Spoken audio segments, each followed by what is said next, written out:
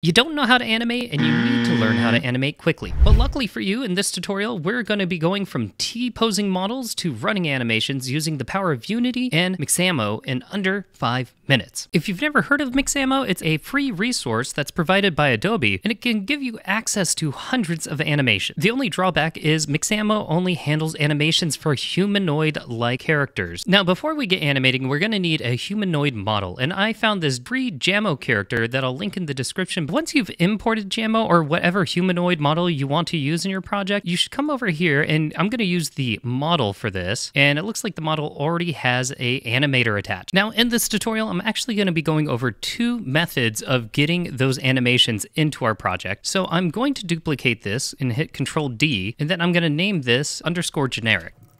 The reason I've done that is because Unity has multiple types of animation. Currently right now, this guy is rigged for generic animation, and I'm going to keep it generic with this model right here. And then for this one, I'm gonna switch it to humanoid. I'm gonna click apply. For this to make a little more sense, I'm actually gonna rename this too.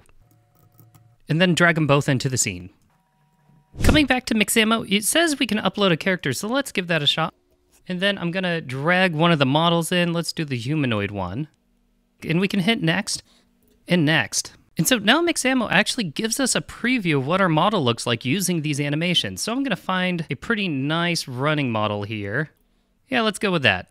Nice little light jog for our character. To download the animation, you just hit download, and it has a few options here. We could go with a higher frame rate, and that will make it a little smoother. And then we can also decide with skin and not skin. So I'm actually going to download both of these. And then I'm going to download it again without skin. Coming back to the project, I'm going to import both the running with the skin and then the running without the skin. Then I'm going to rename them just so I don't get confused. If I expand these out, you'll see that one, the one without skin is a lot smaller of a file, and the one with skin is literally the entire skin again that we uploaded. So let's start things off with the one that doesn't have skin. And so you'll see here, if I click right here and go to the inspector, I need to change this to humanoid and then hit apply. And then there's a few more things I need to go over. I have to go over to the animation tab, and you can see here in the preview, it isn't using the model that we imported, and that's because, well, this is the one without skin. I also want to rename this, so let's call this running.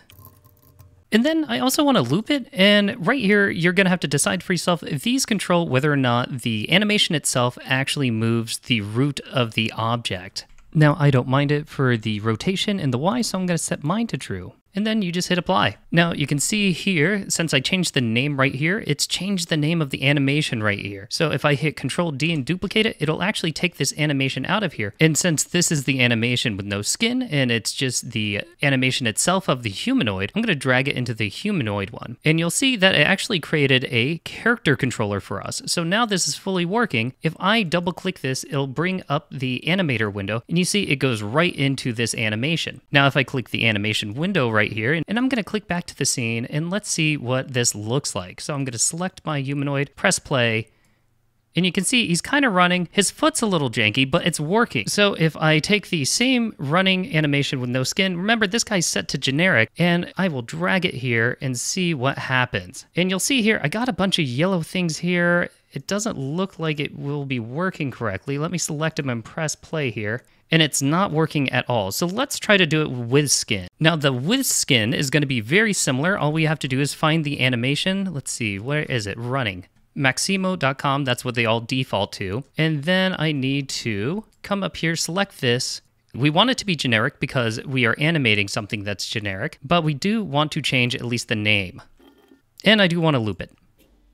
So now I gotta find running generic. There it is. Control D to duplicate it and get it out of this little package. Now, since I've already created a animation controller for generic, I'm just gonna delete it and then I'm going to drag the generic one onto generic. And you can see over here that it's already fixed it up. Let's hit play and it's running pretty smoothly. And so there you have it. We have our animation in our game. Now, sure, you still have to connect things and use parameters with scripts to get the animations going how you want, but this is the start of it. I hope you're able to use all these animations in whatever project you're working on. And to my Patreon subscribers, as always, thank you, thank you, thank you. And I'll see you in the next one. Bye-bye.